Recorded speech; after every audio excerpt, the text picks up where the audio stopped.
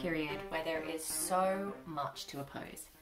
Yet, unbelievably, our opposition party seem to be doing very little opposing. Labour leader Keir Starmer seems a little bit confused about what it means to be the leader of the opposition. He's dismissed the Black Lives Matter movement as a moment. He's dumped Labour's commitment to radical action on climate change. He's attacked the Tory budget over a small rise in corporation tax, um, ordered MPs to abstain on the Spy Cops bill and the Overseas Operation bill, which actually gives immunity to British war criminals. Some of you are probably thinking that maybe he's actually a Tory, and that would be understandable because while the Tories have gone on the offensive, Starmer has let them off the hook and instead has attacked the left in his own party. The Labour left have argued to stay and fight, and while they have stayed, Unfortunately, there's not been enough fighting. What explains this pathetic excuse for an opposition? We all know that Keir Starmer is in no way a principled socialist, but the problem goes much deeper than that. The problem is the Labour Party and Labourism. Labourism is the idea that what happens in Parliament is most important to winning changes, instead of the working class struggles out on the streets and in the workplaces. There's a fundamental contradiction at the heart of the Labour Party. The party articulates working class people's hope for a better world, but it aims to take the reins of the British state and rule in the national interest. There are two big problems with this. Firstly, there's no such thing as a national interest between the bosses, the landlords, bankers, and working class people. Whenever the media talk about national interest, they really mean the class interests of those at the top of society. Have you ever heard the establishment say it's in the national interest to tax the rich and pay people a living wage and take the homeless off the streets? When politicians talk about the national interest, they are often talking about pushing austerity through at home or going to war abroad. If you try to rule in the national interest, you accept working within the confines of what's acceptable to the rich and powerful.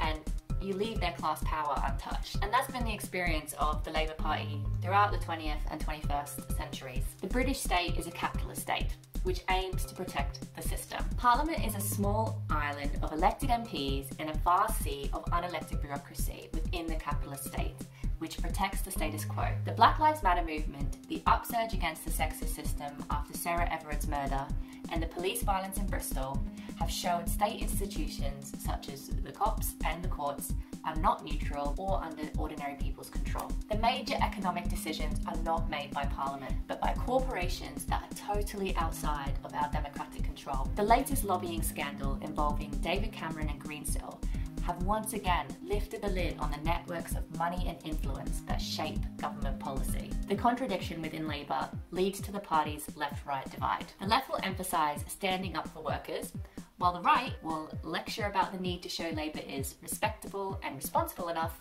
to run the British state.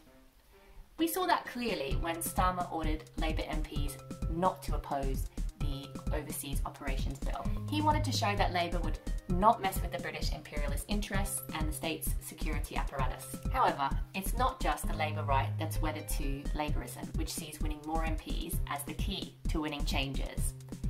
The Labour left also sees change coming through using the British state and is pulled by the need to seem more respectable. So this means it seeks unity with the right in the name of having a united party can win elections. We saw this ugly process under Corbyn. Over Trident nuclear weapons, Brexit and supporting a second referendum, Palestine solidarity, and a whole array of issues, the left leadership made concession after concession to the right in the hope of unity. What this did in reality was just undermine Corbyn's radical project. After the defeat of Corbynism, figures on the left were arguing for what is sometimes known as a twin track approach. So that's a strategy of working inside and outside of Parliament. Of course, standing in elections isn't irrelevant for revolutionaries, but the question is which form of action dominates the other? And with the Labour left, the parliamentary track dominates. That tends to hold back whatever happens outside of Parliament. And that's because the Labour left remains committed to Labourism. The Labour Party is a trap for socialists. So, what's the alternative?